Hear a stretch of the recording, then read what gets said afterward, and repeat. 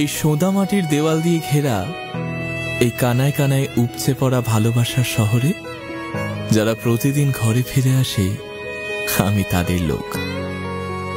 যাত্রাপাড়ার poster লিখিয়ে, ছেলেবেলায় প্রথমবার এসে এই ভিক্টোরিয়ার ছেড়ে যাওয়া শহরকে যারা ভালোবেসে ফেলেছে, নাম না জানা কোনো কারণে, আমি তাদের লোক।